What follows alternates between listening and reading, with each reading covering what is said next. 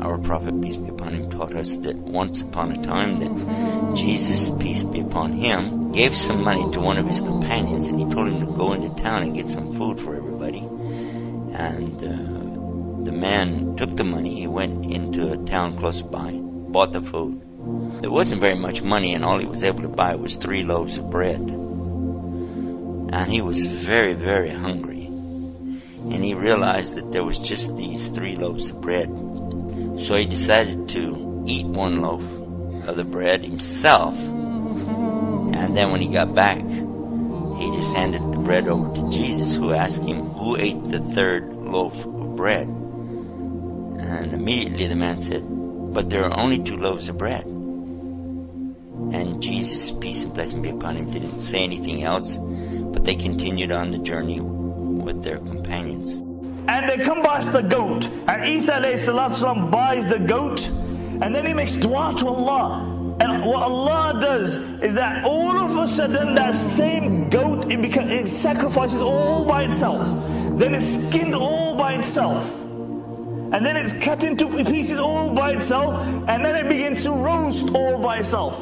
And this man standing there goes, Subhanallah. So, MashaAllah. You are a true Nabi of Allah. So then Jesus looked at the man who had gone after the bread, and he said, I'm asking you by the one who ate the third loaf of bread. And immediately the man said there were only two loaves of bread. Again, Jesus, peace be upon him, didn't say anything, and they continued on their journey. Now, while they were walking, they came across a river that had been flooded up.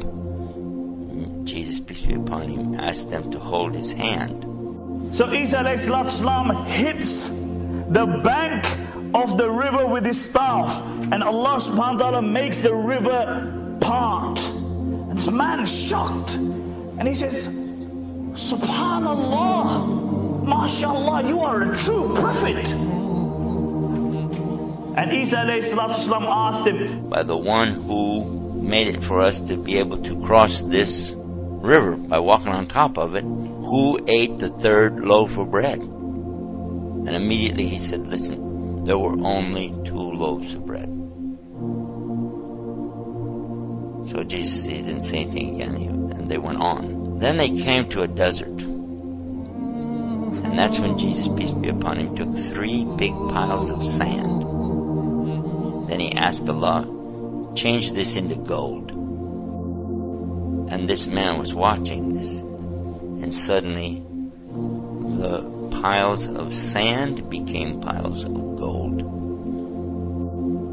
And he said, One pile is for me. And he looked at the man he said, One pile is for you. And the third pile is going to be for the one who ate the third loaf of bread. The man quickly said, I'm the one who ate the third loaf of bread. And Jesus told him, then all three piles of gold are for you, but do not accompany us anymore.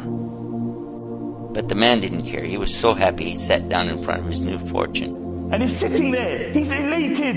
He's got the dunya. He's got the dunya, what he wanted, his maqsad in life. And he started dreaming of what he was going to do, that he was smiling all alone, looking at his wealth. Suddenly three thieves came upon him and they saw Here's a man sitting alone with this huge treasure of gold. First thing they did, they killed him. Then they divided the gold. Each one of them took one of the big piles of gold. And then they sent one of them to go in and get some food so they could eat and then plan out their future.